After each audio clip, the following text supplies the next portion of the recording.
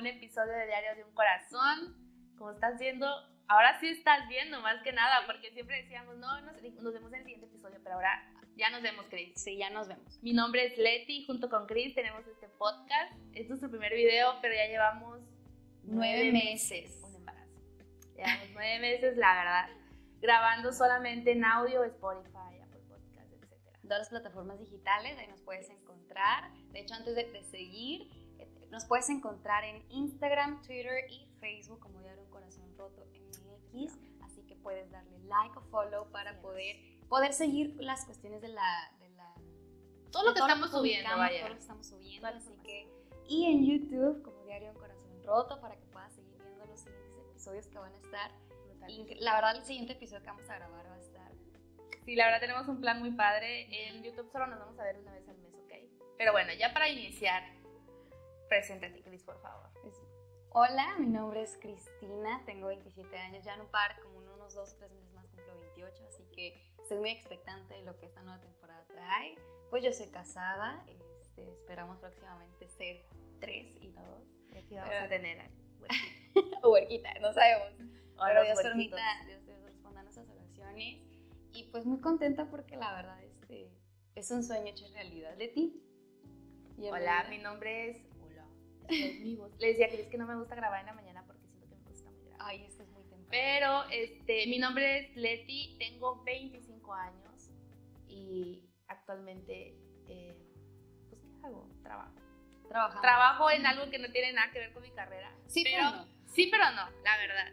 Y, este, y la verdad que en mis tiempos que no estoy trabajando, pues hacemos esto del podcast. Tengo otro podcast con otros amigos. Pero es- ha sido muy padre este viaje. Y les queremos contar un poco de cómo nació Diario de un Corazón Roto. Sí, Fue ¿qué bien es random. Ajá? ¿qué es? Para empezar, eh, aquí en nuestra iglesia manejan los que son grupos conexión, que son grupos pequeños, en donde pues se da un tema que obviamente habla de, de Dios, ¿no? Entonces estábamos en el grupo, platicando. Cris creo que era mi líder todavía en ese entonces, Sí. y yo les conté que a mí me decían mucho que porque yo no abría mi propio podcast, o sea, solita, y yo no, es que a mí me da miedo, bla, bla. Y entonces Chris me dice, hey, grabemos un, abramos un podcast. Y yo, ¿en serio? Pero no éramos ni tan amigas todavía. O sea, Sí, sí, ya éramos. pero no tanto a lo que habíamos desarrollado. Y yo creo que habrá pasado un mes para que tuviéramos una junta a las dos. Y ok, Chris dijo, no, yo quiero que se llame Diario de un Corazón Roto. Pero la verdad es que siento que todos los temas que hablamos es lo que nosotros hubiéramos querido escuchar cuando Sí, estábamos más Sí, chicos. sí, sí, como esos consejos que necesitábamos en ese momento. Sí. Y ahora que ya, ya vivimos eso, que ya pasamos por muchas cosas, tanto difíciles como no tan difíciles, am, siempre eh, es bueno aconsejar res- respecto a nuestra experiencia, ¿no? Lo que a nosotros nos hubiera gustado escuchar en ese momento y principalmente escuchar una palabra de esperanza, ¿no? Que es lo que diario un corazón roto es. ¿no? O sea, hablamos de temas que generalmente no se hablan a profundidad, ¿no? Y que ah, pues seguiremos hablando de temas que así, pero fue eso, ¿no? Fue súper random, random. fue de que, ¿y de qué quieres hablar? Y fue de que, de cosas que generalmente no se hablan normalmente. Fue así, o sea, O eso sea, fue- literal de cosas que nos rompen el corazón. Exacto. Porque creo que lo generalizamos mucho con una pareja, eh, una amistad. Una relación Pero no es, no es todo eso, o sea, como decíamos en nuestros episodios anteriores, y es de que, que no pases el examen de la universidad. Claro. Eso te puede romper el corazón, ¿no? O sea, obviamente Incluso una amiga, que reprobar una Ajá, o sea, que ajá. subestiman de que, ay, ¿cómo eso te puede romper el corazón? Pues sí, o sea, sí te puede romper el corazón. Hablamos de todo aquello que tiene la capacidad, incluso que tú le has dado poder de romperte el corazón. Sí. Y cómo Dios puede de un millón de maneras de sanarte y darte una nueva oportunidad de hacer algo completamente nuevo. Así es. Aparte siempre decimos, somos dos cristianos haciendo un podcast que no es cristiano. Pero hablamos. Hablamos de Dios. Como este o sea, es que es- es bien como, la verdad, a veces hablamos de todo el tema y te vamos a dar un versículo o algo, ¿verdad? Pero no quiere decir que exactamente, wow, siempre nos van a hablar de Dios y porque sí queremos como atraer a más personas a Él, ¿no? Porque nosotros hablamos desde nuestra experiencia de lo que hemos pasado y cómo Dios nos ha ayudado para poder salir de ahí. Así es. Y Cris, ¿qué miedo has enfrentado desde que inició Diario? O sea, o desde que ya dijimos, wow, sí lo vamos a hacer. Am, yo creo que mi miedo más grande, para serte honesta, es, es- fue realmente ah, como dejarlo. ¿sabes? Como, en algún momento se termine. Sí, o sea, eso, que fue como ese mi miedo de que, ok, ya se nos acabaron los temas y ya no hay nada más que decir o fue una emoción, creo que ese era mi miedo más grande, o sea, que realmente fuera por una emoción más que una convicción, pero con el tiempo me he dado cuenta que no, o sea, porque es algo que yo le pido a Dios, ¿no? O sea, mis oraciones de, desde que Señor, o sea, que esto siempre sea de ti, ¿no? O sea, no, no mis emociones hablando, no mis emociones trabajando en eso, sino tú y pues pararte la gloria, ¿no? Entonces, uh, creo que ese fue mi, mi, miedo realmente, mi, lo que sí pudo como tocar mucho mi corazón. ¿Y a ti, Leti? Mira, yo la verdad como ya tenía otro podcast, yo ya sabía el deje y maneje, vaya. Pero yo no editaba, punto número uno. Dos, yo siempre he, grabado a distancia. Entonces es como que en una sesión de Zoom y todo eso siempre grabamos. Eh, hemos hecho live y todo. Entonces, como el hecho de, de meterme como a, este mundo, eso no me daba miedo. A mí lo que me daba miedo, o no sé si es miedo, tal vez era como de, ¿y si al final no funciona? Creo que a veces mi cabeza es como, imagínate que un día me deje llevar con Chris. ¿Qué, va a pasar con diario? O sea, con quién se queda el perro, como... Como la canción de... O sea, es como, ¿qué onda? ¿Qué va a pasar? Pero la verdad es que Dios siempre nos confirma que quiere esto para nuestra vida, porque súper random cuando empezamos a, en la iglesia empezamos a escuchar de, hey, los estoy escuchando, fue como, Cris, que me acaban de decir que nos están escuchando. Porque es muy difícil realmente llegar a tu que círculo, tu círculo cercano. Exacto, entonces fue como, fue como ese, o sea, como raro que personas de nuestro entorno, personas que nos conocen principalmente, porque si llegamos, la verdad estamos teniendo un buen alcance y eso gracias a Dios y gracias a ustedes que nos escuchan, pero, y, pero sí fue muy raro que personas muy cercanas a nosotros, de que, escuchando y mira lo que venía escuchando en el carro, cosas así.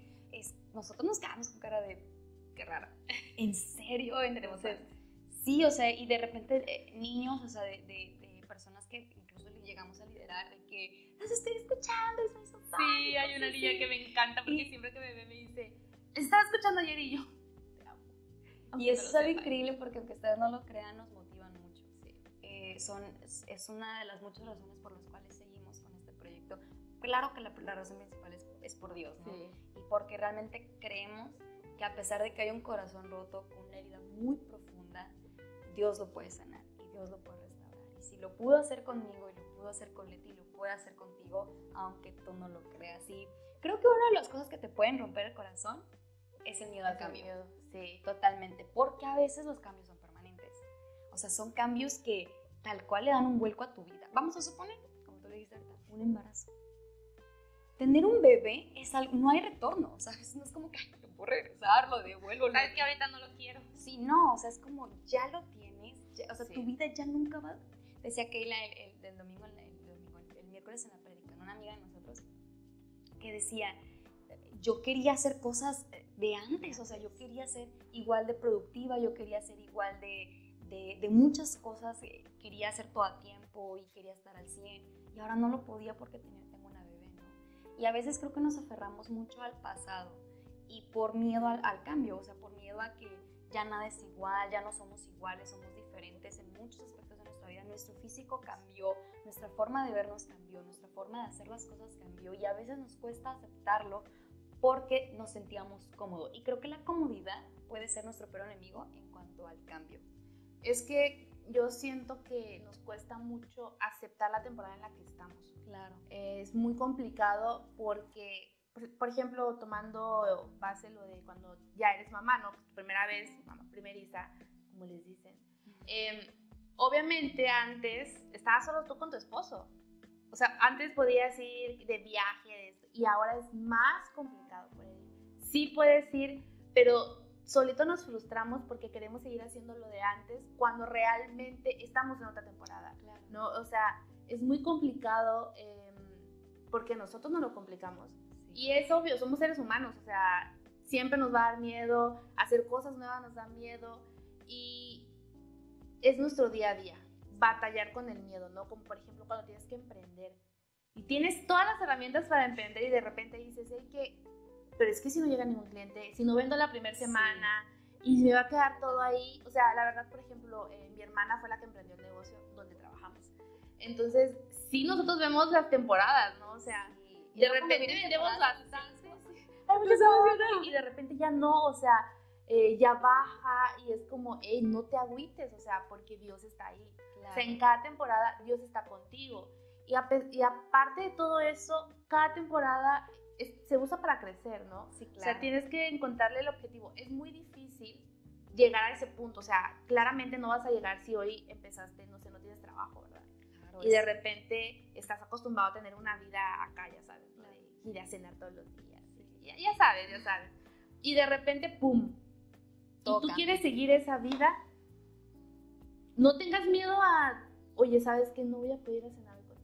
Ya tenías planes a futuro, y no voy a poder ir a ese viaje. O sea, creo que nos da muchísimo miedo que van a decir las personas. Claro, y yo creo que más que nada eh, muchas veces, por si lo vemos por un lado contrario, es que el cambio puede verse atractivo, ¿no? Como vamos a suponer, ay, eh, eh, consiguió un nuevo trabajo y le pagan más. Eso es muy atractivo. Pero tú no sabes el proceso que eso conlleva. O sea, la persona tal vez dice, sí, gano mucho más, pero es algo más tarde. Pero menos tiempo a mis papás, o a mis hermanos, o a mis hijos, a mi familia. sí, pero ya no tengo tiempo a hacer tantas cosas. O sea, sí hay cambios que pueden ser muy atractivos, pero todos los cambios llevan un, proceso, ¿sabes? Un proceso y también lleva, eh, por decirlo así, un sacrificio. Si tú quieres, por ejemplo, tener un, cuerpo bikini, como le dicen eso, o plan bikini para, para verano, pues conlleva un sacrificio, que es hacer una dieta, ejercicio, es dejar cosas que te gustan por hacer las cosas que necesitas hacer, ¿sabes? Y es un sacrificio, pero sabes que la recompensa va a ser buena si tú quieres a, irte a otro, a otro país a, estudiar o a trabajar, pues sabes que conlleva un sacrificio, que es dejar de ver a, tus, a tu familia, a tus amigos, incluso simplemente irte a otra ciudad, como lo decíamos en un episodio, ¿verdad? Lleva un sacrificio porque al final estás cambiando tu rutina, porque al final no vas a ver a tus papás o a tus hermanos o a con la misma frecuencia, aunque la, una de las cosas buenas es que vas a, a conocer a otras personas, que vas a madurar. Vas a, yo lo vi en mi hermana cuando ella se fue o sea, ella era una persona aquí de una manera y cuando ella se va, ella dio un salto enorme en su madurez. Y yo digo, wow, o sea, pero eso, eso la llevó y se tuvo que obligar porque se vio sola, ¿no? Entonces, y no es malo, al contrario, o sea, ahora es una persona muy madura, eh, con muchas metas ya establecidas, es una persona que ha aprendido mucho, que le falta también, por supuesto, porque somos humanos, pero ha, alcanzado una, una madurez increíble y eso, los cambios, es algo que cuando yo me vine para acá, para, para el norte, iba a decir la ciudad, dije, me voy a exhibir. Como si no lo hubiéramos dicho. Sí, verdad, ya sé.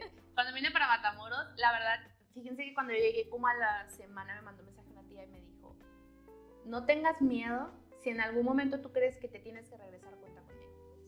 Creo que ese tipo de tener personas que te apoyen, ¿sabes? Como de, si tú, porque hay mucha gente que te va a decir si tú puedes y esto y el otro, pero ¿quién está ahí? O sea, ¿quién está cuando ya te encarrilaron? Ahora sí, ¿cómo, es la palabra? ¿Encarrilaron? Sí, sí, sí. Sí, ¿no? Cuando ya, te metieron ahí y de repente se van todos, ¿no? Cada quien tiene su vida y todo. Y de repente tú es como, ok, ¿ahora qué hago? Ok, ¿quién me va a sostener? O sea, obviamente Dios, pero ¿quién físicamente va a estar ahí sosteniéndome en este cambio, en este miedo que, que, que a mí me aterra, ¿no? O sea, porque a veces dar pasos de fe nos cuesta, o sea, nos ponemos a pensar, porque todos los días en nuestra cabeza tenemos preguntas, ¿no? y si lo dice, yo cuando me vine, si era como de, o sea, ¿y si fue lo correcto venirme? Sí es algo que debí de haber hecho. Y más cuando algo no sale como tú lo quieres. Y más cuando vivía yo hasta la otra frontera, que yo soy de Chiapas, entonces es como que atravesé todo el país para venirme a Matamoros. Te amamos Matamoros. Pero este, es, es complicado porque tenemos que salir Claro, o sea, siempre un cambio va a requerir eso en nuestra parte, o sea, 100%. Y a veces es bien difícil porque es lo que decía, la comodidad va a ser nuestro peor enemigo. De hecho, a mi esposo, es, justo eso hablábamos el miércoles, que yo le decía, creo que en este proceso en el que estamos ya estamos muy cómodos. O sea, estamos demasiado cómodos, o sea, ya encontramos la comodidad de ir solamente a un servicio, de irnos a nuestra casa, levantarnos a lo que queremos, desayunar y ya, o sea, venir un miércoles al servicio y estar eh, ciertas cosas que ya no requieren ese sacrificio de antes. Y le dije, creo que es hora de, regresar, tenemos que hacer cambios, pero cuando estás muy cómodo dejas de crecer. Creo que, creo que la comunidad siempre va a ser nuestro peor enemigo porque dejamos de crecer. Como ya estamos a gusto, decimos, bueno, aquí me acomodo, pero no hay un crecimiento, o sea, si nunca te incomodas, nunca vas a hacer cambios en tu vida. Y precisamente eso puede traer miedo. Por ejemplo, vamos a suponer, este, quieres una nueva cocina. Bueno, yo que yo quiero una nueva cocina. Para tener una nueva cocina, yo tengo que deshacerme de la vieja. Y eso es incómodo, porque significa que tengo que buscar cajas para meter mis cosas y luego, si dependiendo de la cocina que quiera, si quiero una nueva material, tengo que tirar la cocina que está actualmente. Si quiero nada más restaurarla, tengo que sacar todas las cosas, comprar el material, buscar un albañil, pagar sus servicios. Y eso requiere muchas cosas. Requiere que yo guarde todo, que pague y todavía que busque el material que quiero. Deja eso y que compres comida. Y que compre comida diaria porque no voy a poder cocinar, porque es un relajo, pues. Pero yo sé que si hago eso, en una, dos o tres semanas voy a tener Sí, una, buenos proveedores. Sí, exacto. se les cae también. se les cae la cocina. sí, fíjate que una pastora de la iglesia decía que ella quería cambiar el piso de su casa. Hace poco, o sea, eso tiene el lunes que nos platicó que ya había terminado. Y decía que ella quería cambiar el piso de su casa y que se le hacía mucho relajo y por cuestiones de tiempo no lo había hecho. Pero cada vez que llegaba a su casa veía el piso y decía, ay, ya O sea, le incomodaba verlo, pero también estaba, muy, estaba en ese limbo entre quiero y no quiero, ¿no? Entonces dice que cuando en Semana Santa aprovechó y dijo, va, lo voy a hacer, metió bañiles y todo y terminaron muy rápido, pero dice que en ese proceso era incómodo porque eh, no podía pasar, no podía pasar donde, o sea, no podía pisar donde el piso estaba recién puesto y luego era pues tener todo, o sea, todo es un relajo porque quitas todo de tu casa, ¿no?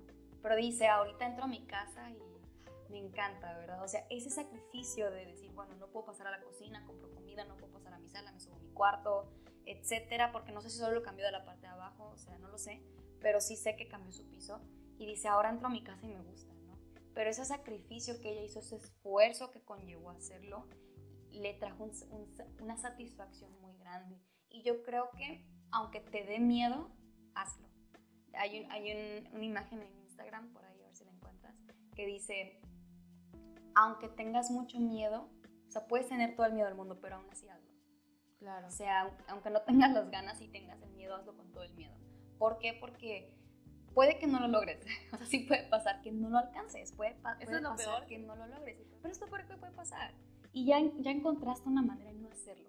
Es una, es una manera donde sabes que por ahí no es. Claro. Y, y ya, aprendes y aunque digamos perdiste ese tiempo en realidad, uh, obtuviste aprendizaje.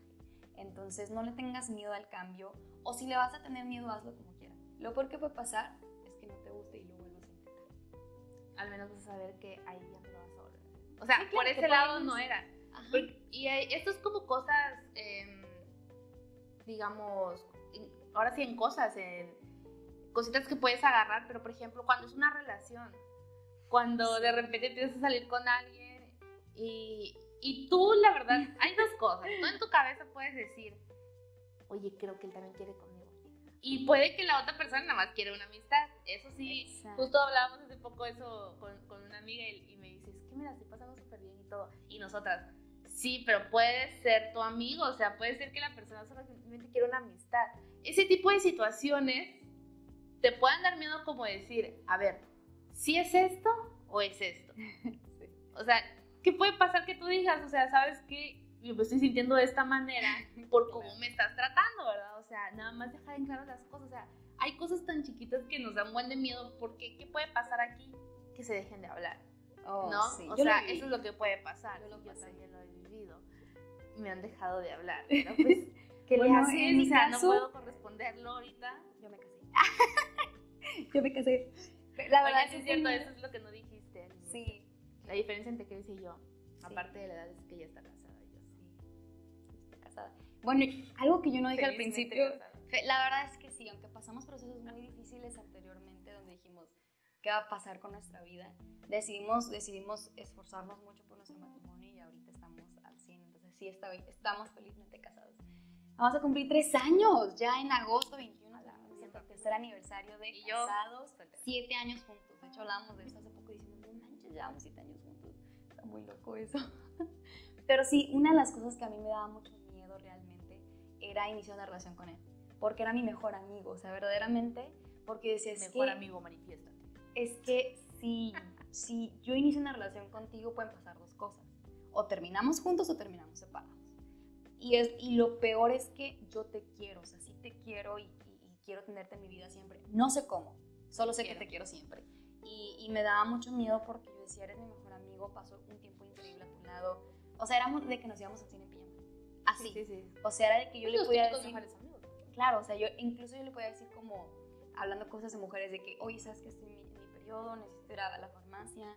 O sea, yo nada más le platicaba y él llegaba por mí y me llevaba. O sea, era como, siempre estaba ahí para cosas incluso que generalmente los amigos no suelen hacer, ¿verdad? Y ahora que estamos casados, él me compró las cosas. Es... Ahí lo mando. Ahí lo mando. No, no es cierto. Pero sí, o sea, uno de los miedos que yo tenía era ese, a que las cosas no funcionaran. Y la verdad es que fue todo lo contrario cuando yo le dije, ¿sabes qué? Si tú y yo vamos a estar juntos porque nos vamos a casar. Yo pensé que él me iba a decir, no, pues ahí ¿Tú se la aventaste así? Sí, así estábamos cenando y yo llorando le dije, es que sí te quiero. Pero realmente tengo miedo porque yo ya tuve una relación con mi mejor amigo y fracasó por completo. Y tardamos años en volvernos a hablar. Entonces, eh, no quiero eso contigo. O sea, eres muy importante, eres alguien que me en muchos sentidos. Encuentro en ti todo lo que quiero para mi pareja. Pero no quiero ceder por presión social porque, ¿sabes qué pasaba? Que a cada rato nos decían, es que ustedes se ven bien lindos juntos. Ay, es que ustedes deberían estar juntos. Es que ustedes son novios, ¿verdad? Nada más una vez nos preguntaron si éramos primos, random. Y nosotros así como, ok, no nos parecemos, pero ya sé. Y nosotros así de que, ok. Resulta que, bueno, yo le dije, o sea, sí quiero algo contigo, pero dame chance, o sea, dame oportunidad de averiguar, de, de, averiguar qué es, o sea, realmente este sentimiento, si es amor o es, o es presión social, porque yo no quiero ceder contigo por eso. O sea, si yo te digo que sí es porque te amo y veo mi vida contigo. Si no, o sea, yo no quiero. Entonces recuerdo cuando yo dije que sí, o sea, pasaron, pasó un año, siete meses y nos casamos. Un año, siete, ocho, algo así, nos casamos. No quiere decir, a ver, corto acá, no quiere decir que van a decir que es su mejor amigo se Bueno, fue una... No, tampoco. Pero bueno, yo creo que tú sabes, que se sabe. el hecho de que ambos, ambos teníamos ya el deseo de, algo serio, o sea, porque ya Ojo, eh, estamos diciendo que no. Luego no vayan a decir, ah, en el podcast dijeron que vayas a buscar Bueno, no siempre pasa, pero, pero sí. pero Yo no he triunfado en eso del mejor amigo. Fíjate que a mí una vez, antes de que eso pasara, un pastor de Más Vida nos dijo, eh, porque estábamos juntos, estábamos platicando, y yo tenía unos lentes, tenía unos lentes de armazón, y los había comprado como una página 20 pesos al armazón. Y ya la grabación me costó más cara, ¿verdad? Pero me habían costado súper baratos. Y me dice, ay, tus lentes están bien padres, ¿no los compraste? Y le digo, fíjese que en una página. Yo no me acordaba porque Alex me los había comprado. Y me dice, ay, ¿cuánto te costaron? Y yo, pasó como un dólar. algo así. Y el de que, pásame la página, no sé qué. Entonces le digo, sí, ahorita que venga un amigo, eh, pues él me los compró, se los. Entonces llega Alex, lo saluda y dice, ¿él es tu novio? Y yo, no, somos amigos. Y de que, ah, mi esposa era mi mejor amiga. Y yo, ajá, bueno, él, él me lo compró y luego me dice, ¿Y, ¿Y, cuánto tiempo se llevan? ¿Quién es mayor de aquí? No, pues yo. Este, le gano Así ya yo soy la mayor de Cállate. ya empieces. Pero me acuerdo que sí nos dijo de que su esposa era tres años mayor que él. Wow. Entonces, como que todo lo que nosotros le decíamos era como, sí, pero mi esposa, o sea, como, como, ah, sí, como, entonces, nosotros nada más nos, nos, estábamos riendo, ¿verdad? Y así como yo me di nerviosa porque yo ya sentía algo por él, pero estaba en ese inter de saber qué era pero no habíamos hablado de ello todavía. Entonces nos dice, bueno, ya le dimos la página de donde hemos comprado los lentes porque eran para su hija. Y este, ya total terminamos y ya cuando nos despedimos nos gritan, nos invitan, nos invitan a la boda. Y nosotros, ok, qué random, nos fuimos, total, creo que ese... Creo, o sea, ¿sí fueron? No, ese día creo que fue un domingo, el miércoles habíamos ido a cenar y ese día hablamos. Entonces cuando ya nos comprometimos, Alex, Alex, estuvimos a punto de enviar la invitación, pero entró COVID. Entonces tuvimos que hacer una fiesta de, 30, de 40 personas, 38 invitados y nosotros 40. O sea, así. Entonces realmente la, la fiesta era de 220 invitados. ¿Tú qué hubieras preferido? ¿Una boda grandota? No, yo, yo no soy de fiestas. Entonces, ¿Y para mí iba a ser tan grande? Por la familia. Porque venía toda mi familia de Sonora, de, bueno, la familia parte de mi mamá, que es de Sonora, de México, y de Monterrey, y una familia de él que es de Florida. Entonces eran muchas personas, personas de la iglesia, del equipo central de donde estábamos, de la banda que, que pues siempre es familia, entonces... entonces Perdón. Entonces, eh, eh, por eso eran muchos y pues se vendrán mis damas, sus compañeros, sus mejores amigos. Entonces, eran personas muy importantes que estaban y obviamente nuestros padrinos. Y ya se hizo una boda muy, muy chiquita, que en parte estuvo bien porque no gastamos tanto. Aparte era COVID. Aparte era COVID. Fue de esas bodas de COVID. De hecho, fue, sí, fue una boda de COVID. De hecho, hubo mucho de que, sí nos dijeron de que nada más tengan cuidado porque si llegan la COE- COEPRI, se llama, ¿no? Que les los van a cerrar, pero nosotros pusimos cubrebocas en, toda- en todas las mesas y este, estuvo bien porque tuvimos, tu- A mí por- tratamos de tener toda la Por una boda de COVID, una amiga fue, le dio COVID y ya me lo contagió. Por una boda. Pero antes de que, antes de que estuviera todo fuera. Había esperado, mija, para conocerme ya. Me invitabas a tu boda. Ya sé, pero bueno, ha sido una temporada muy divertida y ha traído muchos cambios a nuestras vidas que han sido muy buenos. También algunos que dice- decimos, ay, ¿por qué tuvimos que atravesar esto? Pero todos los procesos, buenos y no tan buenos de ti, traen un aprendizaje. Y algo que dice nuestra pastora, no sé si te acuerdas de esto, que dice, abraza tu proceso, no te enamores de él, Sí, claro. no te acomodes en él, abrázalo. ¿Qué quiere decir? Acéptalo. Acepta en dónde estás en este momento, acepta eh, la situación, el momento en donde estás, acepta que ahorita no es tu temporada tal vez para hacer fitness. Tu temporada ahorita es para estar con tus hijos y disfrutarlo. Dijera la pastora Leida, este, Estoy en, estoy en, estoy en, ¿cómo digo? lo vas a tener que cortar aquí. No me acuerdo. Dijo, estoy en pausa, Estamos estoy en un proceso y yo, señor, estoy en pausa y estoy en un proceso, por eso no estoy siendo fit ahorita. La verdad. Pero es que sí, o sea, tenemos que entender nuestras temporadas, o sea, hay temporadas donde vas a poder hacer muchas cosas, hay temporadas que no tanto, hay temporadas donde vas a tener mucho trabajo, hay temporadas donde no tanto, y hay que entenderlo, o sea, tenemos, por ejemplo, yo tengo amigos que tienen shows, o sea, que tienen como eh, Ujú. cuestiones de Sí, sonido, sí. y dicen las mejores temporadas son octubre, noviembre y diciembre, y las graduaciones, y, y yo sé que yo tengo que prepararme económicamente para las temporadas bajas. Claro. Y las temporadas altas son increíbles porque tengo graduaciones, porque tengo baby showers, porque tengo quinceañeras, tengo bodas y generalmente salen esas temporadas. Yo acepto las temporadas que me tocan, ¿sabes? Y yo, yo tengo que aceptar mis temporadas. Yo sé que ahorita mi temporada es enfocarme 100% en mi matrimonio.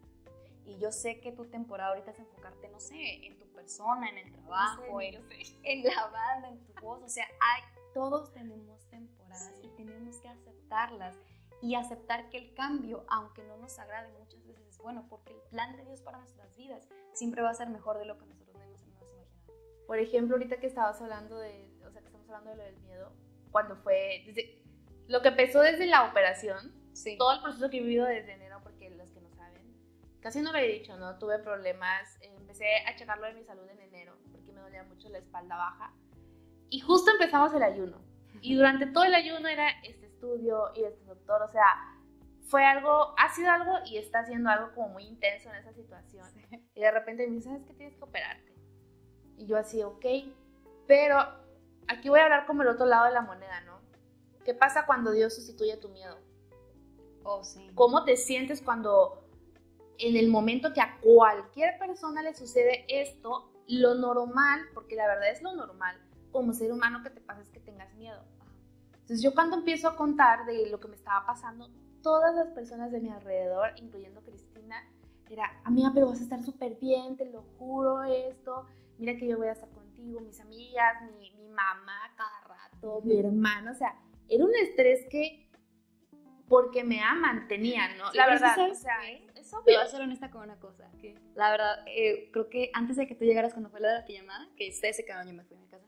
Este, antes de que tú llegaras, nos, nosotros ya sabíamos, yo ya sabía, Ajá. era obvio que nosotros sabíamos que te iban a operar.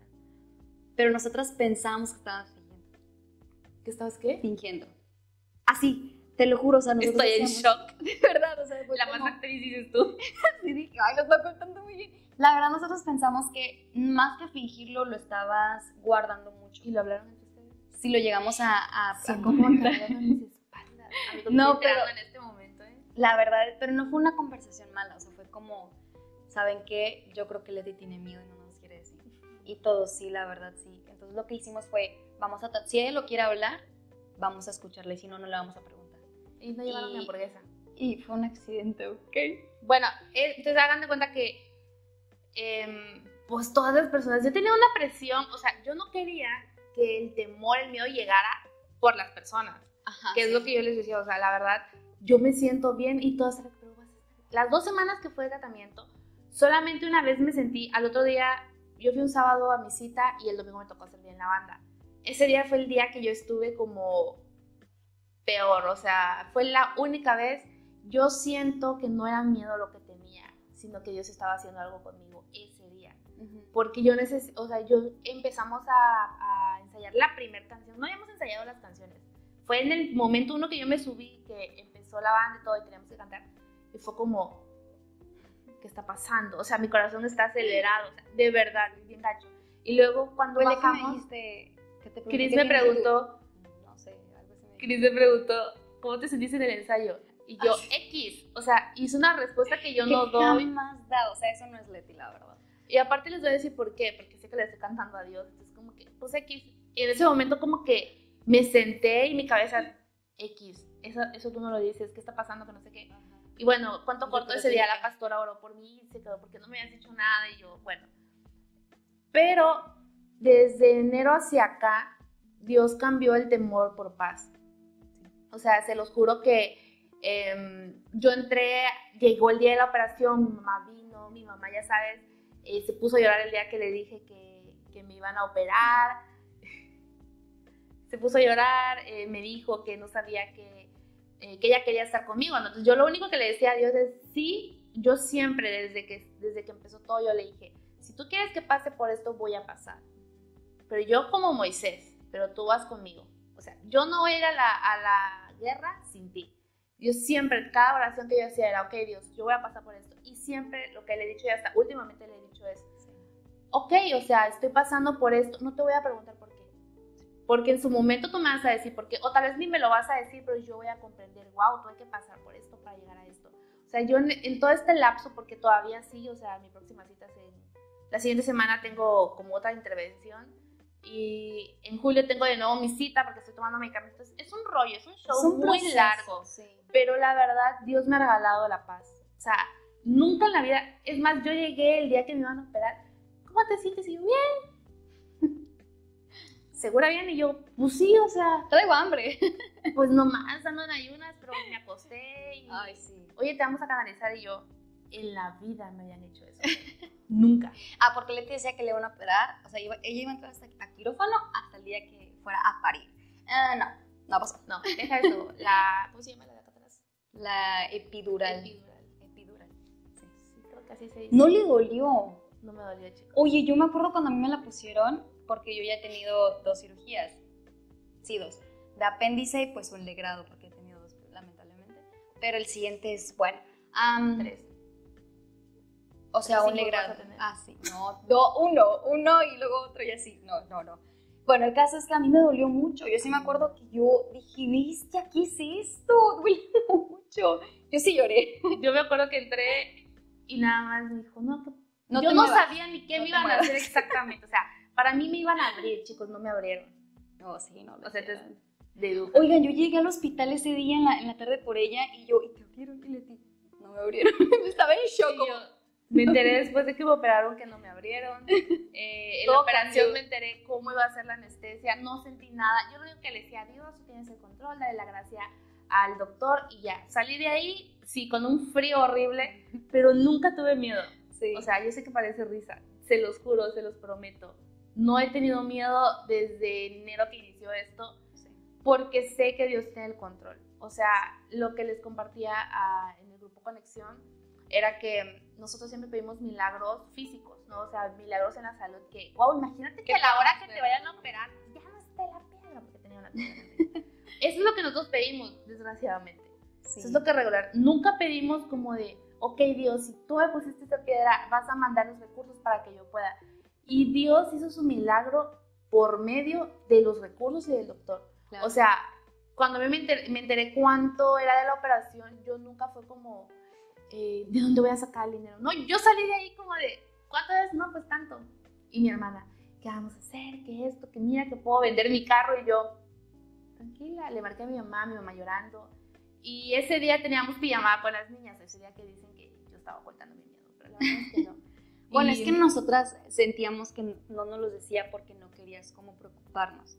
Entonces decíamos, es que ellos, o sea, sentíamos que no, no nos querías decir y lo estabas como que guardando.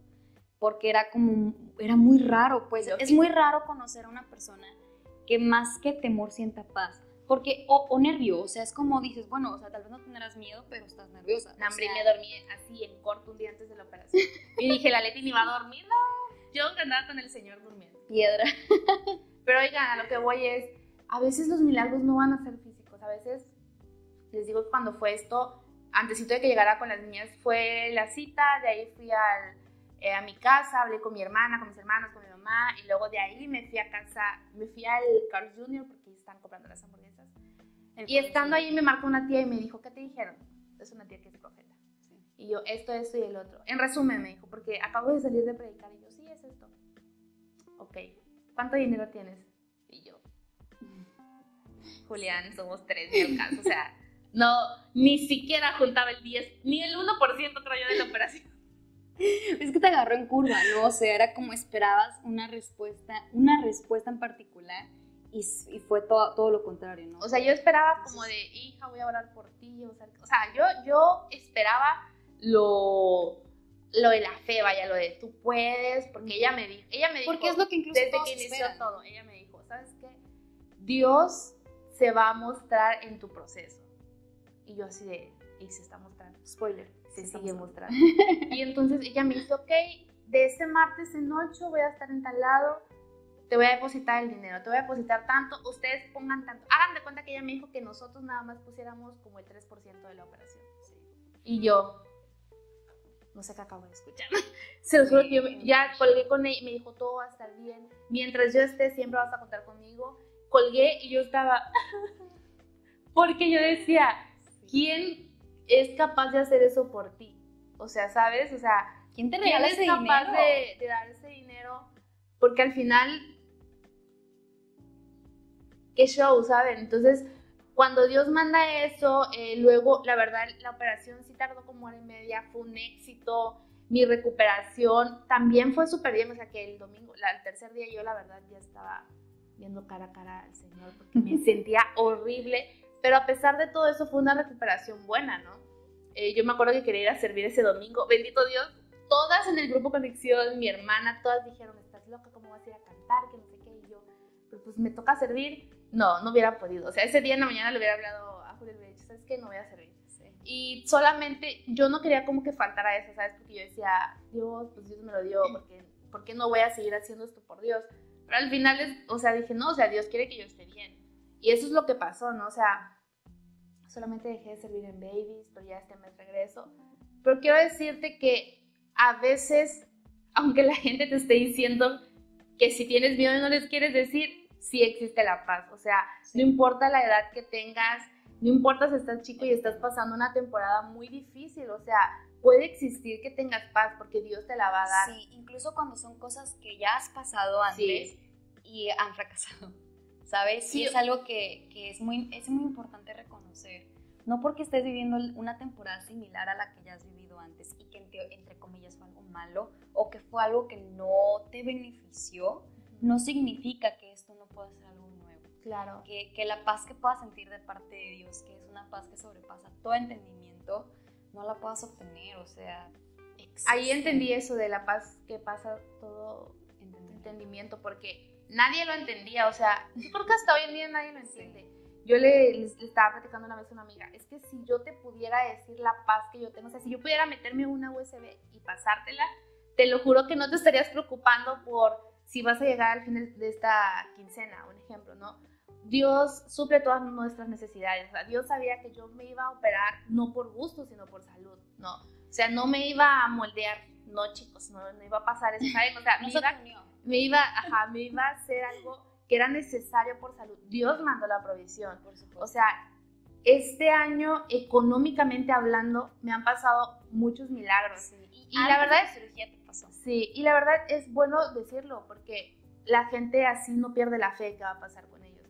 O sea, sé que hay temporadas que van a, que vas a estar en esta temporada años, pero nunca pierdes la fe. El problema es cuando la perdemos y creemos que ya no hay y queremos buscar otras alternativas. O sea, Dios está ahí, Dios está obrando. O tal vez tú esperas que Dios llegue a ser un milagro, pero tú no lo estás buscando, ¿no? O sea, ¿por qué? Porque a veces se nos hace muy normal escuchar el Dios contigo, Dios sí puede, pero tú en tu casa, tú en el carro, tú en donde estés, has clamado a Dios. O sea, tienes que clamar a Dios en tu dificultad y aún cuando tu temporada está bien. Porque ¿qué nos pasa cuando le pedimos mucho, mucho, mucho a Dios? Pero cuando ya estamos bien, nombre a Dios lo mandamos, ah, ya está Diosito allá arriba, eh, en el nombre de Jesús, amén. O sea, ya ni siquiera nos enfocamos en eso, o sea, ya ni siquiera lo buscamos, ya ni siquiera, porque ya no tienes tiempo, porque tú le pediste ese trabajo, llegó el trabajo y el trabajo inunda tu día y ya no tienes un tiempo para Dios porque estás cansado. O sea, Dios te da las cosas, no olvides que tenemos que ser agradecidos. Y en esta temporada, de verdad siempre le agradezco a Dios, gracias por esta paz. Que por favor esta paz nunca se vaya, porque si él, o sea, puede ser que a veces me ha dado eh, más temor en otras situaciones que en esto, que debería, lo máximo que me ha pasado es esto. En cuanto a la salud es lo más, lo más intenso. Pero queremos dejarte Jeremías 29:11, que dice, pues yo sé los planes que tengo para ustedes, dice el Señor. Son planes para lo bueno y no para lo malo, para darles un futuro y una esperanza. Sí, totalmente. O sea, los planes de Dios. Es el resumen literalmente en un versículo de Dios. O sea, realmente, aunque a veces, ¿cómo decirlo? Ah, yo creo que a veces Dios nos quita cosas, nos, no nos permite ciertas cosas y vemos como, ay, ¿por qué si tus planes siempre son buenos? Pues sí, pero a veces lo que nosotros queremos no va acorde a lo que. Y ahí es cuando decimos, ¿por qué si tus planes son buenos? Siempre son buenos. El problema es que nosotros nos cuesta aceptar su voluntad. Claro. Y cuando eso pasa, pensamos que Dios no es bueno, no nos ama, porque no estamos teniendo lo que nosotros queremos. Pero cuando Dios dice que los, que los planes que tiene para nuestra vida son buenos, es porque son planes que necesitamos. Y tenemos que aprender a diferenciar un poco entre lo que queremos y lo que necesitamos. Y siempre Dios va a suplir nuestras necesidades. Y los planes de Él siempre son buenos, siempre van a ser para darnos un futuro y una esperanza. Jamás va a ser para hacernos daño, sino para cuidarnos y poder llevarnos a un propósito mayor. Entonces no te desanimes si estás pasando un, cambio que tú te, te puede dar temor. No te desanimes, no, no permitas que ese miedo te controle. Hazlo con todo y miedo y confía en que Dios tiene planes para tu vida y pídele sabiduría por sobre todas las cosas y entendimiento esta temporada para que sepas qué decisión tomar. Ahorita que estás diciendo lo de los planes, me acordé que el pastor predicó sobre, eh, sobre la muerte de Jesús y él dijo que, o sea, no se llamaba así su mensaje, pues, pero quería dar el contexto. y él dijo que Dios tenía un plan. Su plan era que Jesús muriera por nosotros. Al final el plan es para darnos un futuro y una esperanza. O sea, todo los planes siempre han existido. Dios desde antes de que estuviéramos aquí ya tenía un plan para nosotros. Y la verdad que a veces es bien complicado porque uno dice, ya es el fin de mi vida, o sea, ya no puedo más. es que es como que a veces uno por cosas tiene X, la verdad. A veces nos, entra la tristeza bien gacho y es como, no, yo para qué estoy aquí. No, hombre, o sea, yo sé que nos escuchan muchos que son chicos, pero nos, nos escuchan muchos que son grandes. O sea, no importa la situación que estés pasando, Dios está contigo y va a estar por siempre. Gracias, por vernos el día de hoy. Sí, gracias por estar. Vernos. Y antes de terminar, queremos darle gracias a Alba, que es parte ahora de nuestro equipo. Está de Diario Está acá atrás de nosotros. está junto con nosotros. Ahí está Albita, es, una gran fotógrafa. Si tú eres de la ciudad, ella y su esposo tienen este... Eh, ¿Cómo se llama? Estudio de fotografía. Sus sesiones están súper pros, entonces los puedes buscar como... Albita, ¿cómo estás en tus redes sociales? Entonces, así lo puedes encontrar y la verdad puedes enviarles... A repítalo Néstor Martín, fotógrafo. Oiga, les digo, tengo que decir antes. Cris me dice, busca el versículo y lo busqué. Y me dice, Filipenses 29.11 y yo... Creo que a alguien le falta clases. No, me falta, me falta estar despierta, pero búscalos en, sus redes sociales. Tienen un, set de fotografía hermoso. De hecho, estamos en su set.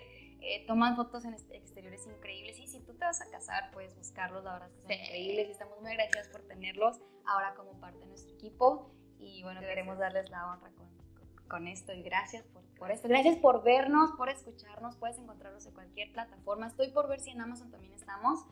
Pero gracias por escucharnos. Estamos en un buen de lados. Así que en cualquier plataforma que tengas en suscripción, puedes ya buscarnos en YouTube y ahí vamos a estar. Hey, comparte para que, para que... No porque nos hagamos famosos, sino porque sabemos que una Este palabra puede es llegar a cual- Claro. cualquiera que esté pasando una situación. Sí, lo hacemos solamente para honrar a Dios y para que otras personas puedan escuchar esperanza. Sí, Todos claro. necesitamos esperanza en esta vida, así que gracias por ser parte de esto, gracias por escucharnos y nos vemos ahora sí en el siguiente episodio. Bye. Bye.